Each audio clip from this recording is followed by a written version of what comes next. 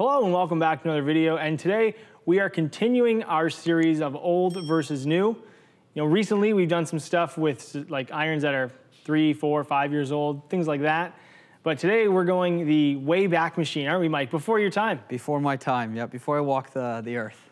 This is a Ping Zing Blondie wood. It was one of the last uh, wooden clubs made from Ping. There was one afterwards. This is not persimmon. I know, Mike, we've kind of joked you've never hit a persimmon club before. That's right, yeah. Maybe we got something in store for you a little later on. Love it. But this is a laminate wood from Ping. What makes it unique is it, for this club, it actually is graphite shafted. So, you know, head to head, 43 inches long, we're gonna be testing three wood versus three wood. And Mike, what do you think uh, setting that thing down? Yeah, I mean, it looks good. It's, uh, you know, like I said, I've never hit persimmon. I, I know we know this is laminate, but, um, you know, it, it's this isn't as intimidating as what the driver would be. That's for sure. This is this is a nice size. You know, three wood to three wood looks very similar. Obviously, a little bit taller, but the driver that I've seen uh, looks a little scary. this, I think, you know, from a, a technology standpoint, there's not a lot going on. It was a wooden club head, hollow in the middle, but there is a base plate on the bottom to help lower the center of gravity. That was by design, you know, multi-material, wood and steel versus wood, titanium, tungsten, all those different things. And we're gonna put this head to head against the modern G425 Max to see for performance and for a little fun what we actually gain between these two golf clubs. So Mike, I'll let you take it away with that three wood. Okay.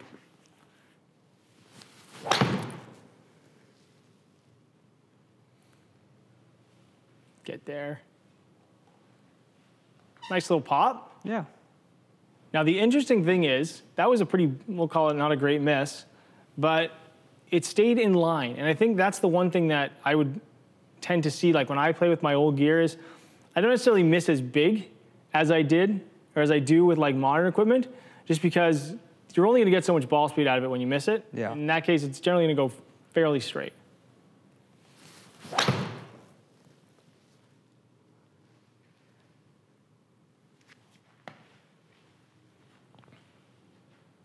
Rolled out there. Let's get one more.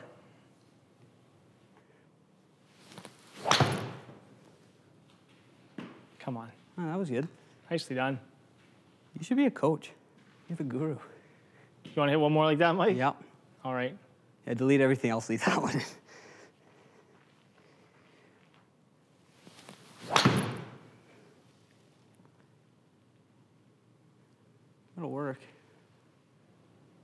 220 carry. Hmm. Okay. Okay, RB, you have uh, more experience with the, uh, the wooden clubs than I do. Um, have you taken this out to play much? This is actually very new to me. I, I have some older clubs that I use that I'll take out, um, but I haven't really got a lot of time with this. You know, as a quote unquote traditionalist, all the ones that I normally play are steel shafted. So this is new to me, but I've been looking at it sitting in a bag for, I don't know, six months, and I've been wanting to hit it. I thought it'd be kind of fun to bring out. So this is new to me too. Love it. Let's see it.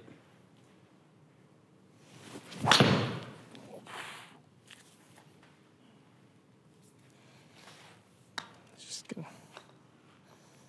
might just go back to the old cutty here, just get it out there.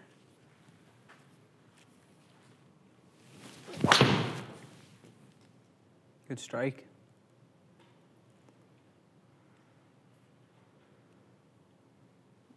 It's the shot I would play with it, just kind of get it out there.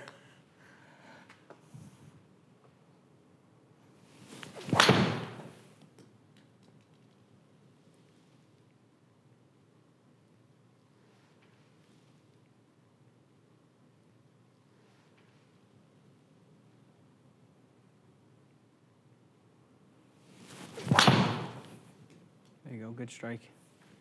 Really good strike. Not a bad three wood. It's a good one to finish off on.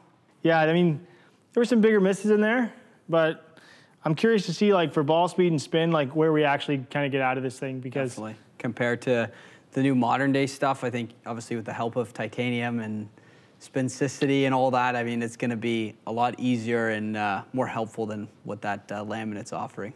let's get you up there and let's hit some new ones, Mike.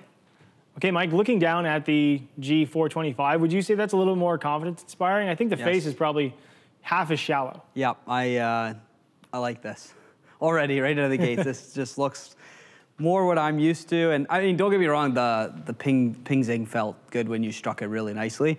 I just know with a little bit of technology, the the miss heel to toe is going to be a lot more forgiving than than what the old laminate would be. All right, let's see it.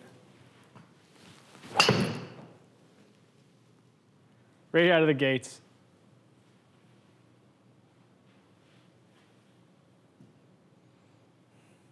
Well, there's our test.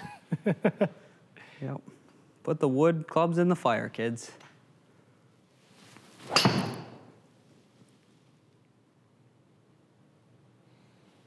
That's that shallower face, Yeah. you know, spin consistency, everything about that low like healer makes such a huge difference in this club, obviously, versus the the older So one. much easier. Ah, healer. I think you'd still rather take that miss though, wouldn't you? Yep. Let's get one more.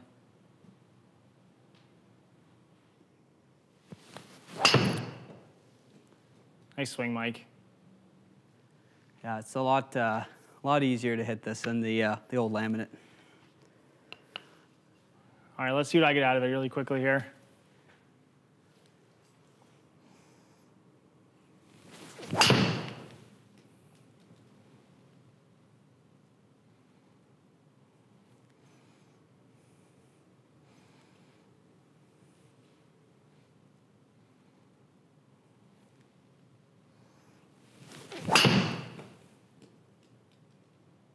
Swing.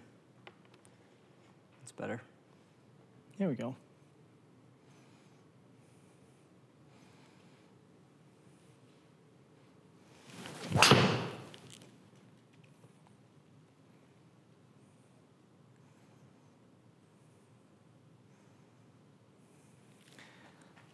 I would not have gotten away with the low heel like I did Nope.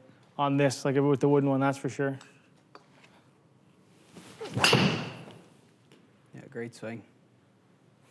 The thing too is like you feel like you can make a much more aggressive, confident swing with something like this because the fear of the miss exists like nowhere near like it does with like an older style golf club. Totally. I mean, I think with the help of technology too, where automatically in our mind we know there's there's a bunch of help behind it. Um, and like I said earlier, that ping is it's cool to hit, but there's no help for that whatsoever. So it's nice to it's nice to see that obviously the way technology's designed to do what it does, it, it's just so much more helping of the game, but just so much more confidence boosting too. Yeah, I, I talk to people like people ask me like, is it fun to play old clubs? Of course, like it's fun. It's just a different way to experience it, right? Some people like to to walk someplace. Some people like to ride a bike, right? You know, this is a case where it just it's a, just a different way to experience playing the game of golf, and uh, yeah, some interesting numbers out of it. Let's uh, let's take a look there. Definitely. So we've got my ping zing and your ping zing compared. Um, interesting. Um, you know, one thing for me is not a lot of spin. Um, and you know, we saw you know 217, 220 kind of carry, and it rolled out a bunch. I know off the off the miss hit, we didn't get a ton of help, and, and it launched pretty low as well. my standard deviation is enormous when Yeah. it comes to the spin, and I think that's a big standout for people. Is like you can still get a lot out of these golf clubs when you hit them well, but that fluctuation from high to low is so much more with something that's older that doesn't offer a lot of MOI. Heel toe, we always think of heel to, heel toe MOI, but high and low on the club face is where you're going to experience a lot of that variation and spin. And in the Zing, we saw a ton of it. Yeah. Compare, uh, add the 425s in there. For me, a little bit more ball speed, which is nice. Um, you know, spin went up, carry went up. And for, you know, if I was a customer coming in and I had that, you know, wood club still in my bag and you showed me that difference, obviously it's a significant, uh, significant improvement. And I would say, obviously, you know, same thing for you where, you know, standard deviation shrinks a little bit and we get a little bit more control over it. Yeah, I, I saw a total of 10 yards. Do you think 10 yards in 30 years is going to make a big, huge difference? Well, it can for sure. Um, and we're also talking like over the course of a period of time, we eliminated some pretty bad shots from the woods that we hit. We'll be very upfront about that. Uh, but still, like the variation is the biggest thing that I think is it's kind of fun to compare it to. And uh, Mike, for one last surprise, we'll do long drive with my steel shafted Jeez, here we go. actual persimmon, which looks roughly the same size as the three wood we just hit. Love so it. Let's do you want to go first? Do you want me to go first? Go ahead, fire away. All right. Let's see it. Persimmon driver, steel shafted, All 10 right. 5, long drive. It's smaller than that three wood we just hit. That's crazy.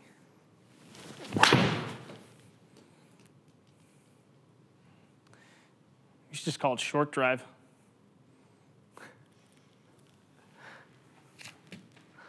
Professional short driving contest.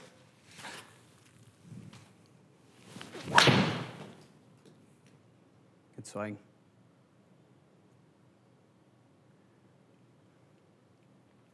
I don't know if I'm going to get much more out of it than that, Mike. Winner, winner right there. I'm hoping to find the hosel. Good swing. I mean, it feels And- so good. It's so much fun. that one? I think I got one more. One more? I want to get one more out of this thing. Good swing. That's all I got, Mike. That's all I got in the tank with this thing.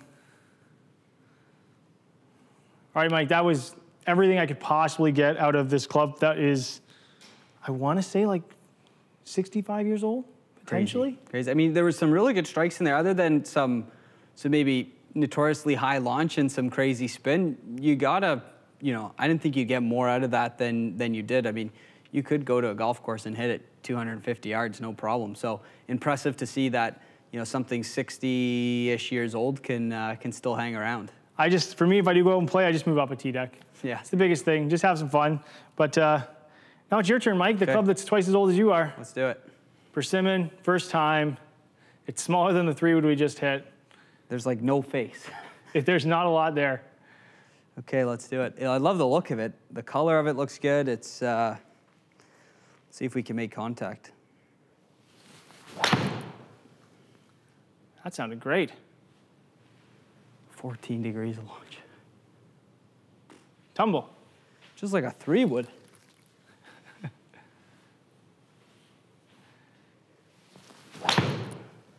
Hey, you're not going to miss a lot of fairways hitting that shot.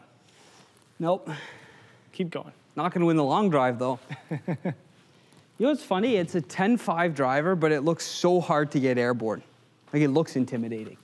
There's, I think it's just the size. Like there's, there's not a lot of size to this thing, and I Yeah. think this is where, as we talked about earlier, when we go from like a big driver to like a smaller one, you just have the confidence to swing away. Totally. With this thing, like your swing speed slows down. You're just you're trying to feel like you're hitting the middle versus I'll hit it somewhere on the face and we'll get it out there. It's Yeah, really yeah. not. The I mean, same thing. honestly, with the help of, you know, AI and twist face and stuff, like, I'm a, I'm a, I'm pretty easy at hitting it off the heel. I mean, twist face has saved me since M3, and um, like I said earlier, there is, there is no help with this thing. I know you got one in you, Mike.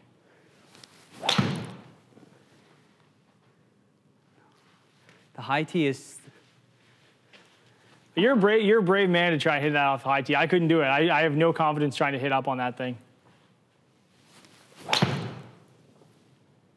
That's the one. Come on, get going. it's a fairy finder, but it's not going anywhere. Well, safe to say, I'm glad I didn't buy a set of persimmons. It's fun. It's, it's cool to hit, but there were either a lot of bad golfers back in the day or a lot of good players back in the day because uh, I'll stick with my uh, 460cc driver any day of the week.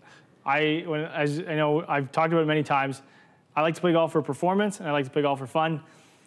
This is definitely one of those times where I'm going out to have fun. I, Yeah. I'm not so much worried about performance off the tee as I am really just kind of trying to hit shots and, and enjoy kind of hitting, the, playing the game a little differently. Let's put it that way. Yeah. And uh, maybe maybe we'll get out sometime, Mike. Maybe we. I I'll think get uh, you know, honestly, uh, you know, a short course. I know I got a course in mind that'd be fun to play. Uh, you know, play around with a set of persimmons, but I think once a year is good, good enough. So with that in mind, again, old versus new, we love doing it. We like having a little fun, as you can tell.